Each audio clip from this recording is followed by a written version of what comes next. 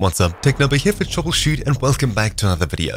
So Windows 11 at the time of recording is of course not fully out, but this video can be made now and will be valid throughout Windows 11's lifetime, assuming nothing major changes. Odds are, if there's no update video in the description below, this video still works. So 3 videos and 5.5 million views later, this is still the most sought after video topic on every channel I've run, and with very positive reviews, it works for most people. Do note that if this doesn't work for you, you may need to do a system restore and move back to a previous point, assuming those are turned on.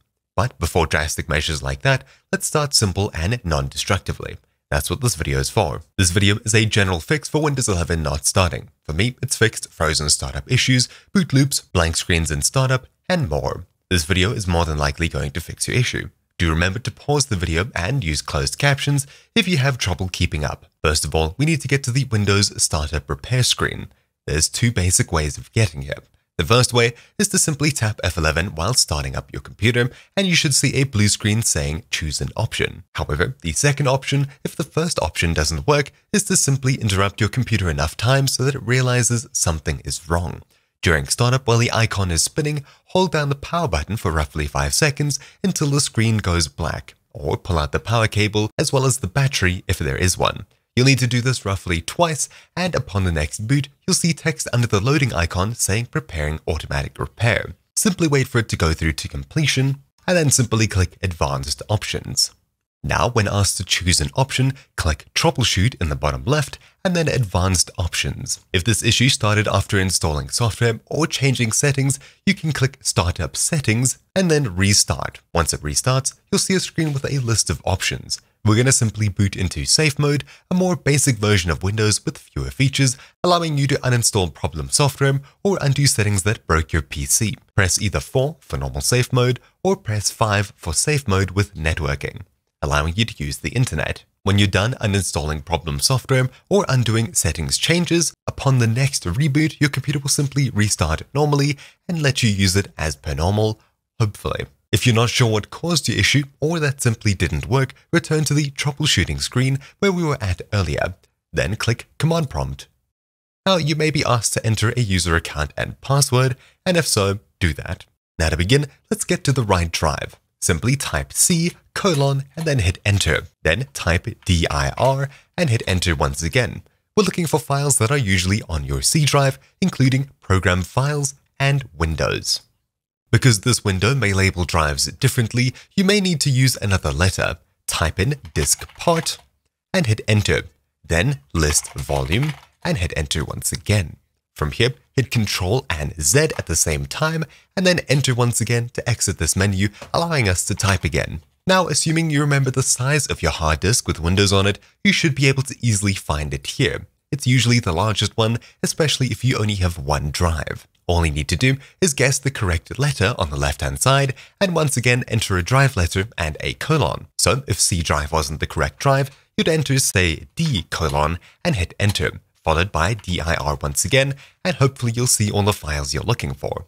For me, it was simply C colon DIR, and we're already on the correct drive. All you need to do is rinse and repeat with the different letters until you find the correct drive. Now, I simply cleared the screen with CLS, just to make things a bit more understandable for you. From here, we'll simply run a few commands that should hopefully fix your Windows installation without anything happening destructively. No files are usually changed by this process, and all of your programs and documents should still be in the same place when it's completed, unlike System Restore, where some files and programs may be lost. From here, type in chkdsk space followed by the drive's letter and another colon, in my case, C colon, space forward slash F, and then hit enter. If you see a prompt like this, simply hit Y and enter once again.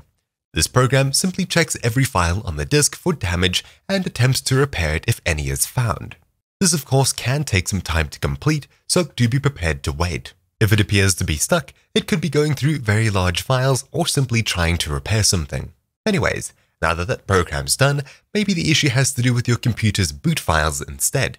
We can repair these by running the following commands. bootrec bootrec space forward slash fix mbr. Then bootrec space forward slash fix boot. Then bootrec space forward slash rebuild BCD. And this last one could of course take some time to complete. And then finally, BCD boot space C colon slash Windows, of course replacing C with the correct drive letter if yours is in C, space forward slash S, space followed by the drive letter once again, and a colon as such. Now, for good measure, we'll use the automatic tools to scan through all of Windows's files and check for issues, then attempt to repair them. Windows can simply verify its own files. We can do that by typing in sfc space forward slash scan now, one word. This could take an even longer amount of time, so once again, do be prepared to wait. Now, all you have to do is type in exit and hit enter. Then simply choose exit and continue to Windows 10. Now hopefully everything's working properly upon booting up into Windows and you're done with this video. So the last step for you here is to simply restore your computer using a restore point. This is usually on by default, though if you've manually disabled it, you may need to resort to more drastic things, such as booting into safe mode, backing up all your data, and then simply reinstalling Windows. Before you do anything drastic, don't worry, you haven't lost all of your files. Of course, assuming something like serious hard disk corruption hasn't taken place. If you are worried about sensitive information and data, I'd highly recommend taking your computer to a specialist or simply getting yourself an external hard drive enclosure. Then you can remove the hard drive from your current PC, place it in the enclosure, and then connect it to another device such as a laptop where you can pull out all of your important data and create a full backup of all of the different files. Then you can insert it back into your computer and simply reinstall Windows. There is always hope, don't give up. But anyways, that's about it for this video. Thank you for watching, my name's been TechNobo here for TroubleChute, and I'll see you all next time. Ciao!